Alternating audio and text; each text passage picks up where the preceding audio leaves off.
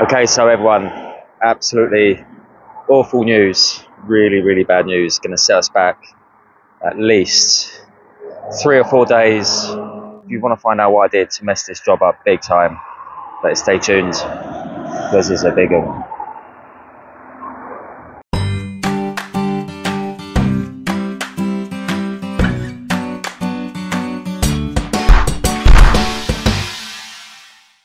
So, Sean, how you feeling? Yeah, not that me then. Okay, so let's just go over it right now because obviously it's dismantling time, which I don't think I've ever done before. Um, we've got eight units assembled. I'm going to now take eight units apart, put all the tools away, dust sheets away, and try and load all of this back in the van. Plus, like I said, we've got 11 doors in the van already with trims. Who knows how we're going to do it? Only got a certain amount of dust sheets to wrap up things. Got this long ledge to get in. Oh, it's going to be tough. If anyone can do it, we can do it, can't we, Sean? Yeah. But anyway, yeah. So, um, but the good thing is, we've noticed that they are they're coming apart really quick, and we are going to mark. So we're just marking what they are: B4, B4. Um, so when it comes to reassembling, they should, in theory, go together twice as quick. But there are benefits. Another benefit is, I was talking to the customer, is that So basically, let me go over a few details. What's happened today? Um, second day in, as you can see, I've done. We've done the whole day fitting. We've loaded up the day before. We've got to the job at seven o'clock in the morning. We've unloaded. We've done the whole day. Got everything.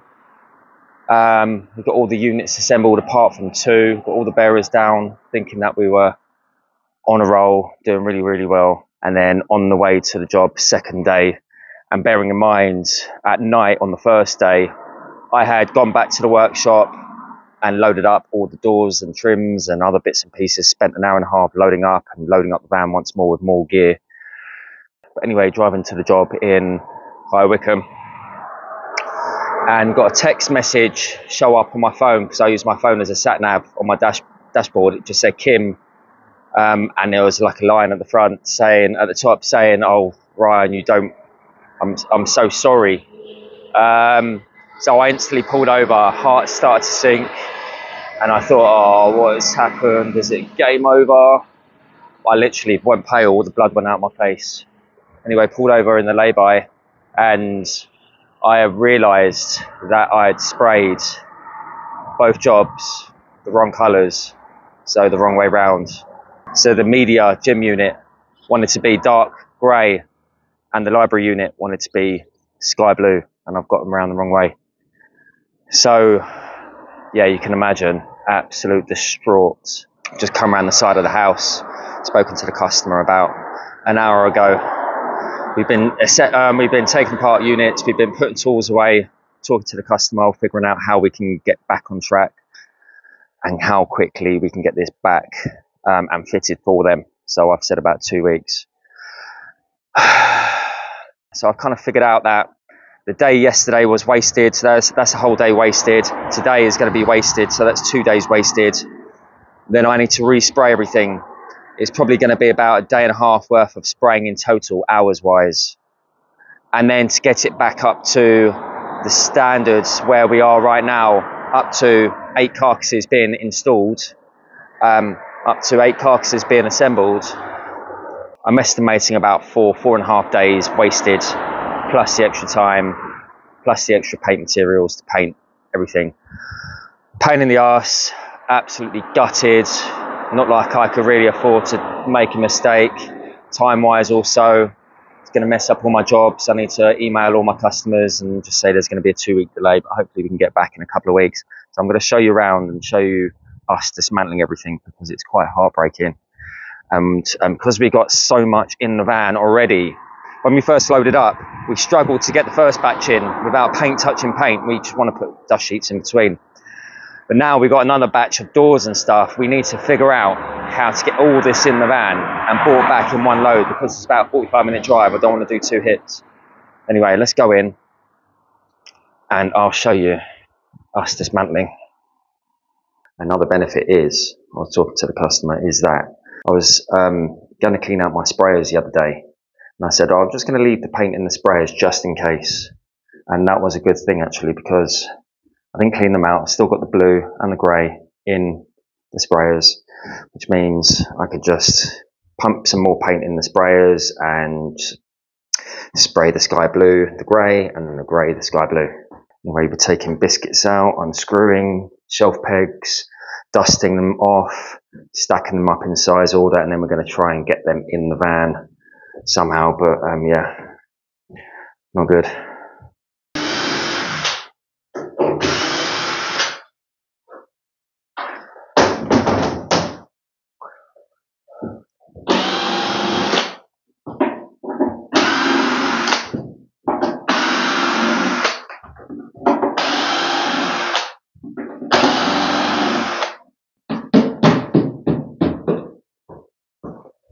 So I've never taken a unit apart like this. Weird, isn't it, Sean? Yeah, so we're just taking the biscuits out and just dusting down, getting them in a pile. Nearly there.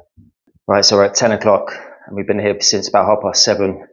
And all we've done is dismantle all the carcasses and clean up all the tools. So not so bad really, two and a half hours. Um, but we're all done and we're ready to stack. But this is the hard part. Let me just show you exactly what we need to get inside this small wheelbase van all of these, all of these backings, sides, more over here, more here, more here, here, all of these, all of these, all of these, this, this, this, this, this, this, one 3.1 meter ledge, few, pe- few pieces over there, all these dust sheets, more panel, more here, hoover, doors, lots of them, pop up and wait for it, and all of this. Mad, isn't it? Do you think that's all going to go in? Oh, any more? Trims, just to add insult to injury. And more boxes.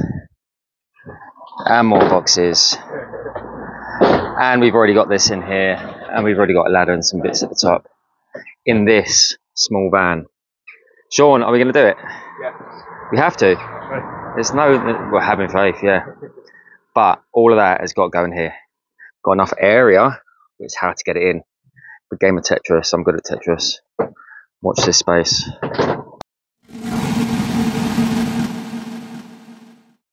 Okay, so it's half past 11, so we've been four hours since we got here to speak to the customer, unscrew all eight carcasses, clean them down, and stack up the entire van. Don't think we have done too badly whatsoever.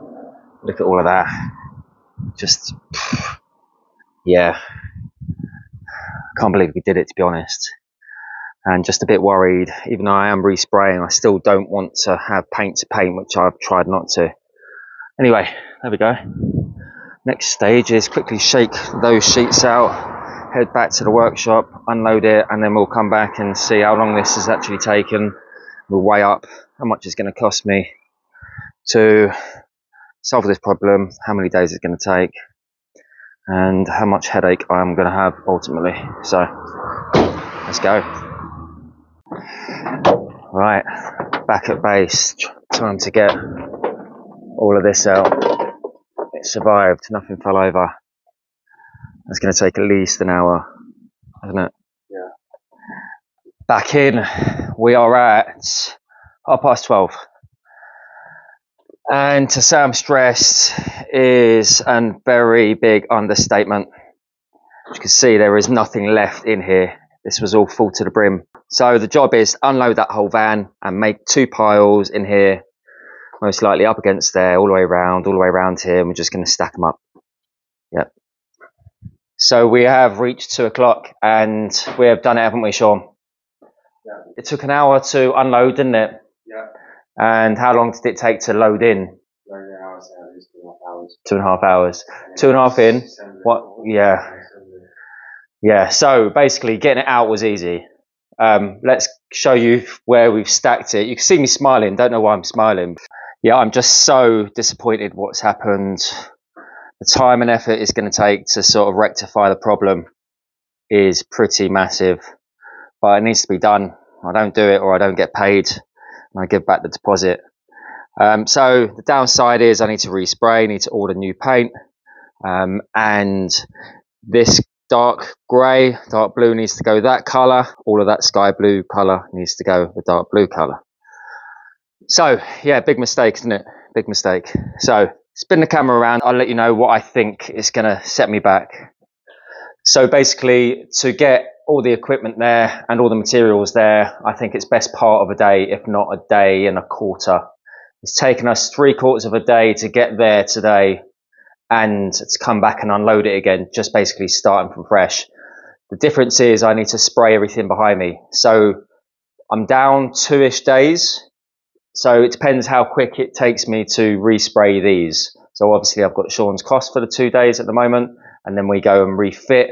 We're kind of wasting another day because we're just getting back to where we were. Yeah. So that's three days, and then the spraying on top. So that is my own time, and the paints. So I'm going to estimate we are about three days down on Sean's side, me paying him, and probably about four to four and a half days on my side because I need to spray everything.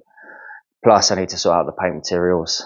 Um, overall, not the end of the world. I need to still smile, otherwise, don't know what I'd do. Um, yeah, it's a tough one to take, but it's rectifiable. Um, if I've got components wrong, which to be honest, I don't know yet because we haven't finished the job, then I'd be, don't know what I'd do. But anyway, thanks for the support, everyone. If you feel like following, subscribing, hit the subscribe button. If you want to join the membership, support the channel, support the deficits, the money I'm down, feel free to become a member, join. Isn't it, Sean? Say join the membership to support the cause. Do that, all right? Anyway, cheers, guys. Thanks for everything. See you in the next video. Ciao for now.